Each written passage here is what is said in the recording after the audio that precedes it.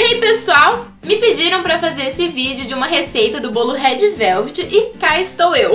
O bolo Red Velvet, originalmente, ele é feito com beterraba, mas aqui a gente vai pôr alguns corantes, né, para chegar naquela cor. E eu encontrei essa receita no site da União, que eu vou deixar aqui embaixo na descrição o link da receita. Eu fiz metade dela, porque uma inteira era muita coisa. E eu vou deixar no meu blog também, para quem quiser ver a quantidade que eu usei certinho. E os links estarão aqui na descrição do vídeo. Então, vem comigo testar essa receita.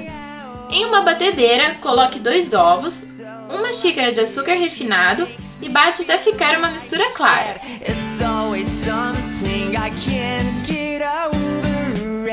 Coloque 100 gramas de manteiga e volte a bater parar, eu adicionei uma colher de sopa de extrato de baunilha, uma colher de sopa de bicarbonato de sódio, uma colher de sopa de cacau em pó e corante alimentício vermelho, até ficar da cor que você quiser. Depois disso, eu fui adicionando duas xícaras de farinha alternado com uma lata de creme de leite.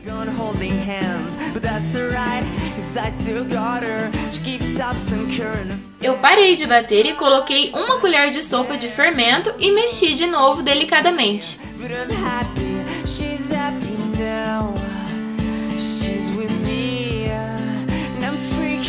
Eu resolvi colocar em formas de cupcake, mas você super pode colocar em qualquer forma normal mesmo, untada com óleo.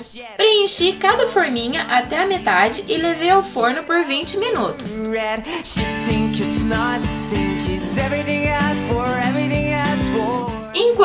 Enquanto assa, vamos fazer o recheio, né? Na batedeira, eu coloquei duas xícaras de açúcar de confeiteiro, 100 gramas de manteiga e bati até ficar bem pastoso e claro. Depois eu adicionei 300 gramas de cream cheese aos poucos e uma colher de extrato de baunilha.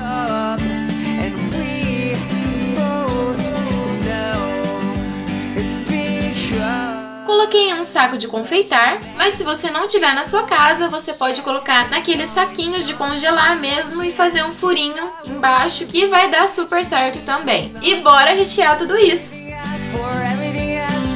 Cortei o miolo dos cupcakes,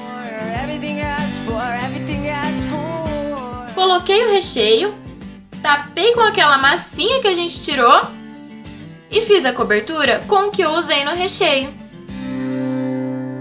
Takes time with little things. Love notes reminding me She wears red when she's feeling hot. I have her but it's all I got. She looks best without her clothes. I know it's wrong, that's the way it goes. Se você gostou do vídeo, não se esquece de clicar em gostei se inscrever aqui embaixo no meu canal, compartilhar nas redes sociais e não esquece de conferir as receitas lá no site que eu vou deixar aqui embaixo e no meu blog também, né? Porque eu vou pôr lá também. Vai estar tá tudo aqui embaixo na descrição do vídeo. Amanda que fez!